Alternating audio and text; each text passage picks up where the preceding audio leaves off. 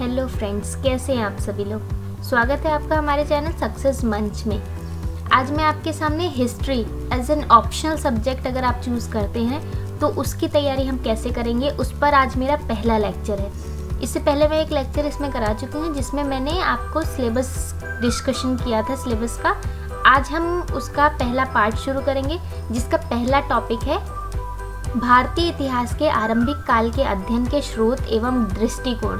इसमें हम, इसमें जो जो चीज़ें आएँगी, उसके ऊपर इस पार्ट में चर्चा करेंगे, हम क्या क्या पढ़ेंगे। और इसके भी कई पार्ट्स में लेकर आऊँगी, क्योंकि छोटी वीडियो रहती है तो ज़्यादा समझना इजी रहता है। हम लोग टाइम निकाल कर उसे देख सकते हैं। तो मैं छोटे छोटे पार्ट्स में ये वीडियो आपको कराऊँगी। आगे बढ़ने से पहले मैं आपको बता दूँ, हमारे चैनल पे आपको GS paper one GS paper four इन दोनों की वीडियो सीरीज़ मिल जाएँगी। और सोशोलॉजी का पेपर जल्द ही शुरू होने वाला है। जीएस पेपर वन में जो सोशल वर्क के टॉपिक्स हैं, जैसे कि महिलाओं से संबंधित टॉपिक जनसंख्या से संबंधित टॉपिक वो टॉपिक चल रहा है।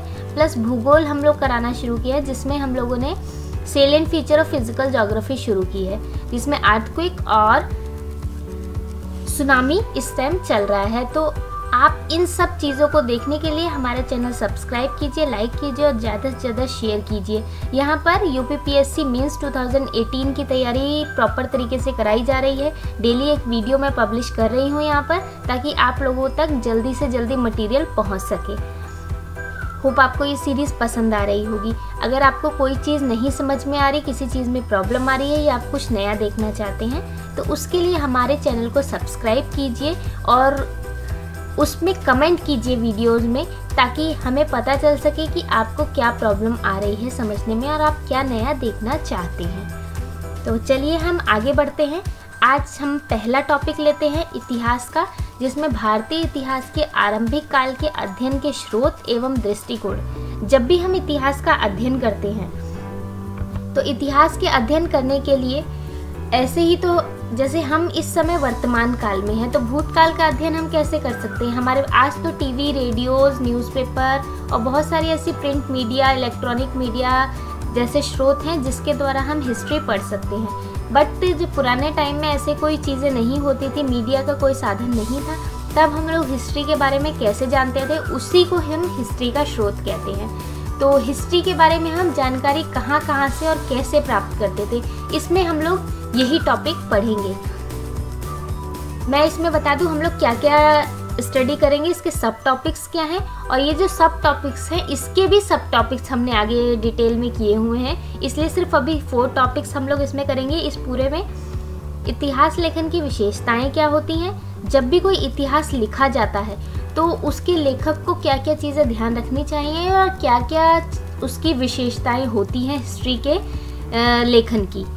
नेक्स्ट इतिहास के कौन कौन से काल होते हैं? भारत, हम लोग ये जो स्पेसिफिक करेंगे, भारतीय इतिहास के संदर्भ में करेंगे। वर्ल्ड का इतिहास इसमें नहीं करेंगे हम लोग। इंडियन हिस्ट्री के बारे में इसमें बात करेंगे हम लोग। तो इतिहास के कौन कौन से काल हैं, इसके बारे में डिस्कस करेंगे। अब इतिहास को, की जानकारी के कौन कौन से स्रोत हैं तो उसमें हम मुख्यतः दो स्रोतों के बारे में अध्ययन करेंगे। पुरातात्विक स्रोत, इसके भी बहुत सारे सब टॉपिक हैं, जैसे धार्मिक स्रोत या फिर धर्मिकता स्रोत, इसके भी अंदर बहुत सब टॉपिक आएँगे तो हम इसके बारे में आगे की वीडियोस में डिटेल में डिस्कस करेंगे। नेक्स्ट साहित्यिक स्रोत। साहित्यिक स्रोत में दृष्टिकोण भी हम कह सकते हैं इसे, क्योंकि विभिन्न जो भी विदेशी यात्री हमारे यहाँ आए, उन्होंने अपने दृष्टिकोण से इंडिया को डिस्क्राइब किया। तो इसी को हम साहित्यिक स्रोत के माध्यम से पढ़ेंगे यहाँ पे। तो हम भारतीय इतिहास के दृष्टिकोण को भी इस टर्म में हम कह सकते हैं कि साहित्यिक स्रोत का अध्ययन हम इसमें करेंगे। चलिए, हम आगे बढ़ते हैं। सबसे पहले हम देखते हैं इसमें, इतिहास लेखन की क्या क्या विशेषताएँ हैं। अगर कोई हिस्ट्री लिखी जाती है या फिर कोई ऑथर होता है तो उसे किस चीज़ों का ध्यान रखना चाहिए कि उसकी विशेषताएँ क्या क्या होती हैं तो हम देखेंगे। सबसे पहले हिस्ट्री में काल बोध ज़रूर होना चाहिए। मीन्स इसमें क्या होता है कि जिस चीज़ की हम हिस्ट्री लिख रहे हैं मतलब कि जो भी चीज़ें लिखी जा रही हैं, उसके बारे में ये पता होना चाहिए कहाँ लिखा गया है, किस टाइम का लिखा गया है। मौर्य पीरियड का लिखा गया है, हड़प्पा काल का लिखा गया है, वैदिक काल का लिखा गया है। कौन से टाइम पीरियड की वो हिस्ट्री है? अगर इस बात का ज्ञान नहीं होगा तो हिस्ट्री लेखन में एक बाधा उत्पन्न होगी। नेक्स्ट तथ्यों का ब्यौरा। जब भी इतिहास लेखन का कार्य किया जाता है, उसमें जो भी तथ्य होते हैं, उसे पूर्णतः नियमित रूप से और क्रमबद्ध रूप से लिखा जाता है। तथ्यों का ब्यौरा दिया जाता है। मीन्स, अगर हम हड़प्पा काल की बात करें, अगर उस पर कोई लेखन किया जा रहा है तो उसकी भवन संरचना, उसके मिलने वाले आर्थिक अर्थव्यवस्था, वहाँ पर खनिज व्यवस्था, वहाँ की जो भी पानी की व्यवस्था है सामाजिक स्थिति, आर्थिक स्थिति, राजनीतिक स्थिति, इन सब के तथ्यों का ब्यौरा हिस्ट्री लेखन में इंपॉर्टेंट होता है, ताकि आगे जब वर्तमान में या फ्यूचर में हम कोई भी हिस्ट्री पढ़ेगा तो उसको उस समय के संबंधित सारी चीज़ों का तथ्य आसानी से समझ में आ जाएगा। क्षेत्र बोध, इसमें सबसे इम्पोर्टेंट चीज़ होती है कि किस क्षेत्र के बारे में बताया जा रहा है। अगर इतिहास लेखन की कोई बुक देखे, अगर हमें स्पेसिफिक ये नहीं बताया जाएगा कि इस काल में इस तथ्य का, लेकिन ये स्पेसिफिक नहीं बताया गया कि किस क्षेत्र के बारे में इंडिया के बारे में बात कर रहे हैं चाइना के बारे में बात कर रहे हैं, या पाकिस्तान के बारे में बात करें किसके बारे में बात कर अगर यही नहीं पता होगा तो हिस्ट्री लेखन का कोई मतलब ही नहीं होता। तो हिस्ट्री लेखन में क्षेत्र बोध का बहुत ही गहरा महत्व है। नेक्स्ट है, ब्यौरे का विश्लेषण। जो भी हमें तथ्य दिए गए हैं या फिर जो भी हमें ब्यौरा दिया गया है, उसका विश्लेषण होना आवश्यक है। मीन्स कि वो चीज़ें कहाँ कहाँ से ली गई हैं और इसमें क्या क्या चीज़ें इंक्लूड हैं। ये सब चीज़ें हिस्ट्री लेखन में इम्पोर्टेंट रोल अदा करती हैं। नेक्स्ट पूर्वाग्रहों से मुक्त लेखक। ये सबसे इम्पोर्टेंट चीज़ है हिस्ट्री लेखन में। अगर कोई लेखक हिस्ट्री लिख रहा है और वो पहले से ही पूर्वाग्रह से युक्त है तो वो हिस्ट्री ठीक से नहीं लिखेगा। फिर पढ़ने वाले को वही पता चलेगा जो लेखक लिखना चाहता है वो या वो दिखाना चाहता है। मैं एक एग्ज़ाम्पल से समझाना चाहती हूँ। अगर कोई लेखक है वो हिस्ट्री लिख रहा है और उसे वो राजा पर्सनली नहीं पसंद है जो भी जिसके बारे में वो हिस्ट्री लिख रहा है वो राजा उसे पर्सनली नहीं पसंद है तो वो उसके बारे में सारी खराब ही चीज़ें लिखेगा सा, सारे उसके जो गलत काम किए होंगे सिर्फ़ वही लिखेगा उसके बारे में कोई अच्छी चीज़ें नहीं लिखेगा। इसलिए जो भी हिस्ट्री का लेखक होता है, उसे हमेशा अपने पूर्वाग्रहों से मुक्त होना चाहिए। उसने अपने मन में जो किसी के बारे में कोई धारणा बना रखी है, उससे मुक्त होकर उसे इतिहास का लेखन करना चाहिए। तो होप आपको ये चीज़ समझ में आ गई होगी कि जब भी कोई इतिहास लिखा जाता है या भी इतिहास लेखन की कोई विशेषताएँ बताने को कहें एग्ज़ाम में तो आप ये पाँच विशेषताएँ और इसके डिटेल्स अपने शब्दों में आप ये लिख के बताएँगे। और अगर इसमें आप एग्ज़ाम्पल दे सकते हैं तो बहुत ही अच्छा है आपके लिए।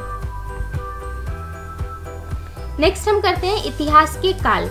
अब इतिहास के काल तो आपने हमेशा से ये पढ़ ही रखे होंगे। बचपन से हम पढ़ते आए हैं, इतिहास में तीन काल होते हैं। तो ये काल कैसे कैसे होते हैं मैं आपको एक बार समझा देती हूँ। हिस्ट्री में जब भी हम हिस्ट्री करते हैं तो हिस्ट्री में मैप्स का भी बहुत अहम रोल होता है। कोई भी चीज़ हमें दिखानी होती है दर्शानी होती है। एक्चुअली इंपॉर्टेंट uh, है मेंस के एग्ज़ाम में जब भी हमें कोई आंसर राइटिंग करनी होती है तो हम मैप के थ्रू अगर कोई आंसर राइटिंग करेंगे तो उसमें हमें मार्क्स मिलने के ज़्यादा चांसेस होते हैं। मैप के साथ साथ हम लोगों को डायग्राम का भी बहुत अच्छे से यूज़ करना चाहिए। मैं इसीलिए स्पेसिफिक अपनी पीपीटी में आपको डायग्राम यूज़ करके अलग अलग तरह के डायग्राम यूज़ करके आपको कोई भी पॉइंट्स या पॉइंटर्स देती हूँ, ताकि आप इस टाइप के आपको हैबिट हो जाए कि जब भी हम कोई चीज़ लिखें तो हम कोशिश करें। अब ये हैंड रिटर्न तो नहीं है, ये तो टेक्निकल डायग्राम है, लेकिन फिर भी आप हैंड रिटन ऐसे ही कुछ अच्छे अच्छे डायग्राम बना के जो भी हमारा एग्जामिनर है, उसको आप लोग इम्प्रेस कर सकते हैं।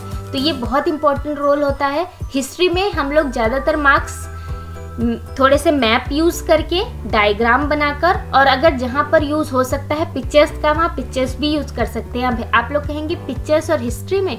हिस्ट्री में अगर आपको कोई हिस्ट्री के हड़प्पा काल का या फिर उससे पूर्व का कोई उपकरण के बारे में पूछ लिया तो उपकरण के आप मैप बना सकते हैं। आपको कोई मृदभांड के बारे में पूछ लिया तो उसका आप पिक्चर बना सकते हैं। तो इस तरह आप पिक्चर कई जगह शो कर सकते हैं। सिक्कों के बारे में पूछ लिया तो आप सिक्कों की पिक्चर शो कर सकते हैं। इससे मार्क्स आपके एक्स्ट्रा बढ़ जाएँगे, आपको बहुत अच्छे मार्क्स मिलेंगे हिस्ट्री के पेपर में। हिस्ट्री का पेपर लेंदी तो है, लेकिन ईजी बहुत है। अगर किसी को एक बार समझ में आ गया तो उसे अपने शब्दों में बहुत अच्छे से डिस्क्राइब कर सकता है। चलिए हम आगे बढ़ते हैं। इतिहास के कालों के बारे में डिस्कस करते हैं। इतिहास के कितने काल होते हैं? तो मेनली इतिहास के तीन काल होते हैं। सबसे पहला प्रागैतिहासिक काल, दूसरा आद्य ऐतिहासिक काल और तीसरा ऐतिहासिक काल। मैं आपको सबसे पहले समझाऊँगी प्रागैतिहासिक काल ये क्या होता है। आप लोगों ने प्री की तो तैयारी की होगी, आपको पता ही होगा प्राग प्रागैतिहासिक काल में ऐसा काल होता है जिसकी कोई लिखित सामग्री या लेखन कोई सामग्री उपलब्ध नहीं है हमारे पास, कोई लिखित साक्ष्य उपलब्ध नहीं होता, उसे ही प्रागैतिहासिक काल कहते हैं। जब मनुष्य लिपि अथवा लेखन काल का विकास मनुष्य ने नहीं किया था और मानव सभ्यता तो आदिकाल से ही मतलब वह जब से शुरू हुई है, तब से लेखन का विकास नहीं था। लोग आदि मानव की तरह रहते थे तो उस काल को ही प्रागैतिहासिक काल कहा जाता था। और जो भी पाषाण युगीन सभ्यताएँ आती हैं, वो सब प्रागैतिहासिक काल के अंदर आती हैं। मैं पाषाण युग में क्या क्या चीज़ें थी, वो भी आगे आपको पढ़ाऊँगी तो ये आपको क्लियर हो जाएगा। जितनी भी पाषाण युगीन सभ्यताएँ हैं, वो प्रागैतिहासिक काल में आती हैं। नेक्स्ट हम करेंगे आद्य ऐतिहासिक काल। आद्य ऐतिहासिक काल में होता है, ना तो वो प्रागैतिहासिक काल का संदर्भ में है, ना ही ऐतिहासिक काल के संदर्भ में, ये बीच में आता है। इसका क्या मतलब? कि प्रागैतिहासिक काल में तो हमें कोई भी लिपि नहीं मिली, लेकिन आद्य ऐतिहासिक काल में हमें लिपि तो मिली है, लेकिन उसे अभी तक पढ़ा नहीं गया है।